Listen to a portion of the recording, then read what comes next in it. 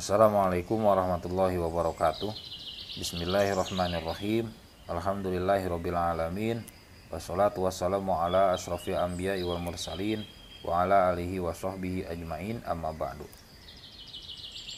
Teman-teman jumpa lagi di channel Zen Institute dalam seri video belajar bahasa Arab melalui kitab Jurumiyah.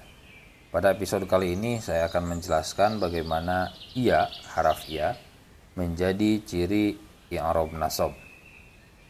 Langsung saya langsung saja saya bacakan matannya. Wa ammal ya'u fatakunu alamatan lin nasbi wal jam'i. Dan haraf ia menjadi tanda atau ciri bagi i'rab nasab pada dua tempat yaitu pada isim tasniyah dan pada jama yaitu yang dimaksud jama di sini adalah jama mudzakkar salim. Kita cermati dulu bagaimana ia menjadi ciri i'rab nasab pada isim tasniyah. Isim tasniyah sederhananya adalah isim kata benda yang memiliki makna dua. Dua perempuan, dua laki-laki, dua sepeda motor, dan seterusnya. Nah, di dalam bahasa Arab ada bentuk kata, kata benda yang memiliki makna dua yaitu isim tasmiyah. Contohnya seperti lafaz rojulani. Rojulani adalah dua laki-laki atau contoh lain misalnya ustadzani, ustadzani, dua ustadz. Atau kitabani, dua kitab. Nah, itu disebut isim tasniyah. Nah, ketika isim tasnia tersebut contohnya kita bani duduk pada jabatan kata yang jabatan kata itu mengharuskan isim tasnia di sana beri'rob nasab maka isim tasnia tersebut tanda nasabnya adalah iya asalnya kita bani ketika nasab menjadi kita baini contohnya seperti dalam lafad ishtaroitu kitabaini. Kitabaini menjadi objek atau maf'ul dari uh, fi'il fa'il ishtaroitu. Ishtaroitu saya membeli kitabaini dua kitab atau dua buku. Nah, kitabaini menjadi objek atau maf'ul sedangkan maf'ul di dalam aturan gramatika bahasa Arab harus wajib dibaca nasob.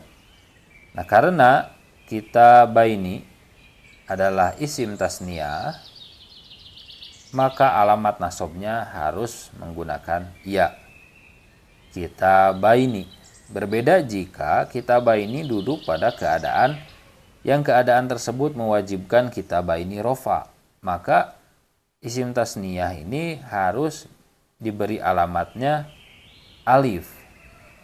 Karena alif menjadi ciri i'rab rupa pada isim tasniyah.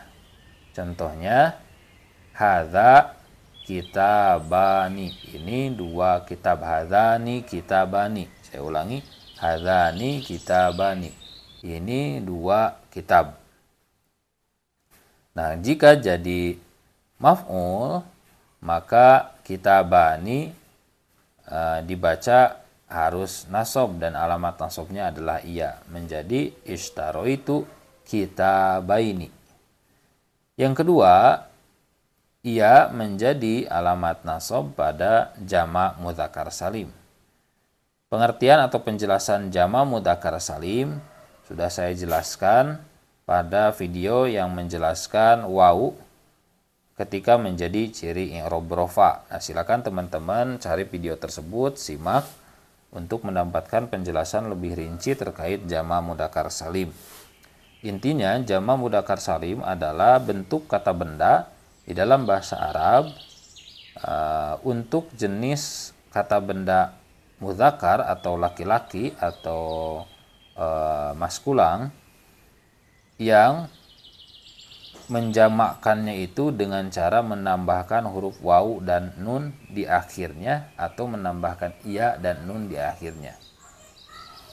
Nah, teman-teman contohnya adalah muslimun. Muslimun menjadi muslimuna. Muslimuna adalah jamak mudzakkar salim. Artinya uh, muslim lebih dari dua orang. Orang-orang muslim orang muslimnya lebih dari dua orang dibaca muslimuna. Nah, jika orang muslimnya hanya seorang muslim satu orang saja, maka cukup dengan kata muslimun. Nah, ketika kita ingin menyatakan bahwa orang-orang muslimnya lebih dari dua, dua orang, maka dibuat jama mudzakkar salim dengan ditambahkan wawu dan nun muslimuna akan tetapi lapan muslimuna tersebut karena jama mudakar salim ketika duduk pada kedudukan yang mewajibkan jama mudakar salim tersebut beri'rob nasob maka wawunya harus diganti dengan iya. Karena jama mudakar salim eh, alamat nasobnya adalah iya. Jadi asalnya muslimuna menjadi muslimina. Contohnya dalam kalimat atau dalam lafad Ro'aitu muslimina. Ro'aitu fi'il fa'il muslimina maf'ul atau objek. Sedangkan maf'ul atau objek harus dibaca nasob dan jamak mudzakkar salim alamat nasobnya adalah iya. Maka dibaca ro'aitu muslimina. Beda ketika muslimina duduk pada kedudukan atau jabatan kata yang mengharuskan beri'rob rofa. Karena jama mudzakkar salim ciri rofanya adalah wau, maka ianya harus diganti dengan wau. Contohnya seperti jaa muslimuna. Telah datang muslimuna subjeknya harus rofa maka dibaca muslimuna. Orang-orang muslim lebih dari dua orang.